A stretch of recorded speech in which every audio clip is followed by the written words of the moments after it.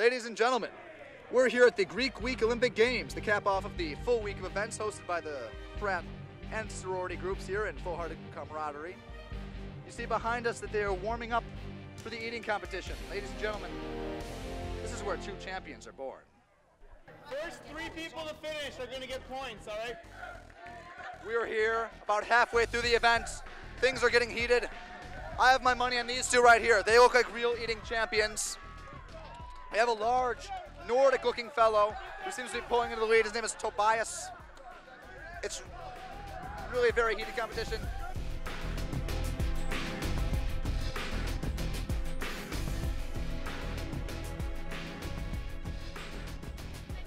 Ladies and gentlemen, we are here with the champion of the eating competition. And uh, what is your name? Marilyn Swearingen.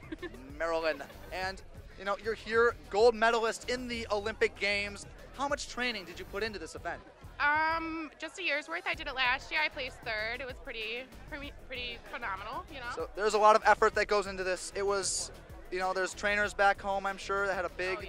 big part of this, and you, you did beautifully today. Do you want to? What, what exactly did you have to eat for the for the eating competition? What was we that? had to eat a shot of hot sauce, a pizza pizza, a hamburger, a banana, and a carton of milk. Wow, and you, you just downed it. Yep. Wow. Nothing to my madness.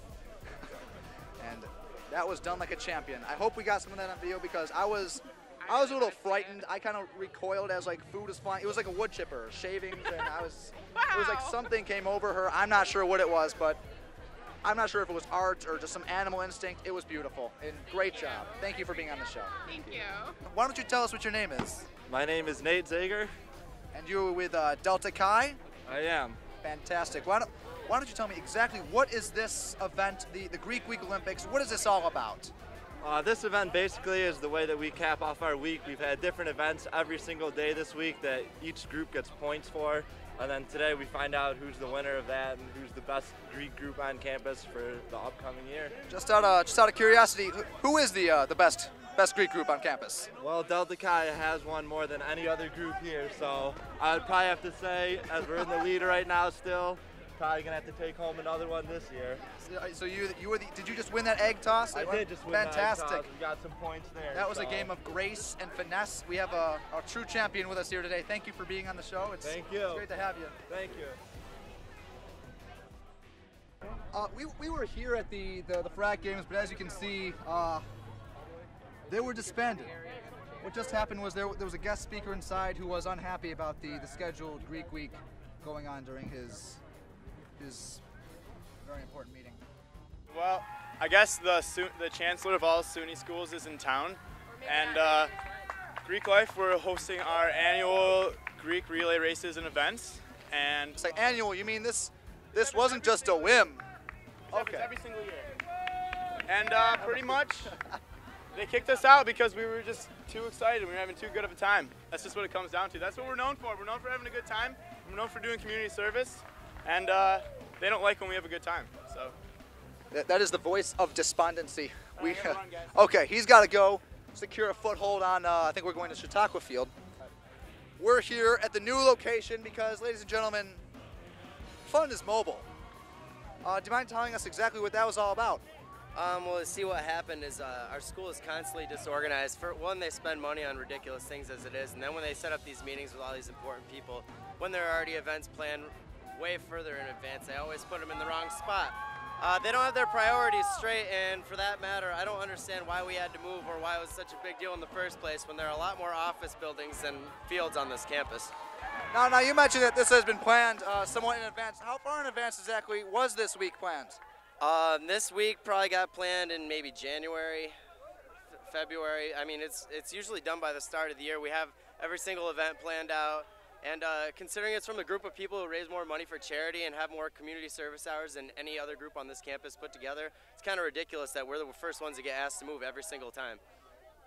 And you know we are we are doing the best we can, uh, dealing with it, and the fun will go on, right? Yeah, let's have yes. Thank you for thank you for being on the show. Audience, we join you now from the final event of the afternoon, the three-legged race. What you will see here is the, the teams are assembled in, in, in the starting positions. They'll be racing to this point immediately behind me. I am in the in danger close zone right now. Here they go. Okay. At first, our first leg seems to have been a, a single person race. Okay. That, that fellow there ran like a gazelle. It was really quite beautiful. It's backwards racing. The talent is unbelievable. Oh, there he goes. And there's a clear advantage. I think that's Delta Chi in the lead. The three-man leg race is going. Three-leg race is going. It, it's not even close here, gentlemen and ladies, viewers in general. It's not even a contest. They're they are floating over the field. They are, oh, oh my goodness, this is crazy. Just so you know, little fun fact: the wheelbarrow was actually invented in Greece. Don't tell your friends that. Think it would be smart. It's not true. It's uh, they'll laugh at you. It goes back. Oh, they had a, they had a little stumble there. Oh God. Oh no. Okay, they switched off. They're going back. Delta Chi definitely taking the lead and looks like they're going to be taking the gold home. There you go. There is the pyramid formation.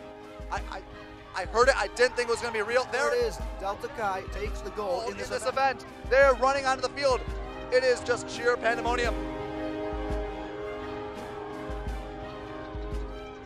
As far as sorority and fraternity groups go on campus, a lot of uh, a lot of stereotypes go around. You, you see movies and shows. Uh, really portrays it as a group of, of drinking, partying, uh, kind of just malcontent, and that's not what we see here. This is a, this is a volunteer group um, doing a great cause. Do you want to talk to us a little bit about that? Uh, yeah, I like. I never thought I would join a fraternity, and I I'm so happy that I did. It was one of the best choices I've ever made in my life. It's not just about the partying, um, as other people said too. It's about community service, fundraising. Our fraternity has the highest GPA on campus out of all fraternities right now as well. So we just want to represent the community in a positive light. That's fantastic. And you are doing an excellent job of that. Thank you for, Yeah. for being on the show. Thank you very much. It's great to meet you. Yep. Ladies and gentlemen, we are here, if you couldn't tell, with the victorious team, Delta Chi. And uh, how does it feel? Honestly, it feels good. Uh, it's just always a fun experience doing Greek Week, so we're having a good time. It's fantastic. And we, we talked to uh, somebody earlier. You, you've won, I think, seven years in a row now?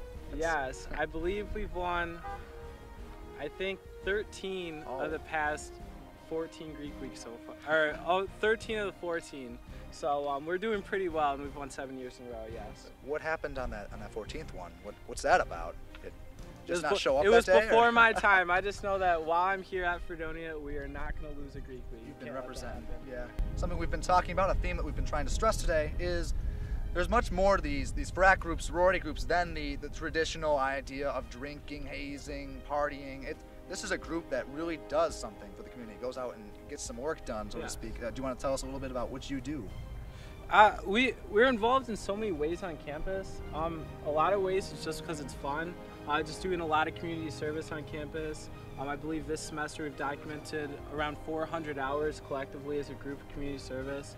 I know that tomorrow we're doing uh, Easter egg hunt on President Hefner's lawn, um, which is going to be a good time. But really, we just try to have fun uh, and get the best of our college experience, uh, and that goes to all members of Greek life, not just Delta Chi. And this so, as you can see here, it's fun. It's good for the community. It's like just fantastic. If you if you do want to join a fraternity, this is a fantastic campus to do it on because it is not the the usual. Your mother warns you about this group kind of thing. This is this is a band of legends, 13 out of 14 years, and uh, hopefully still running.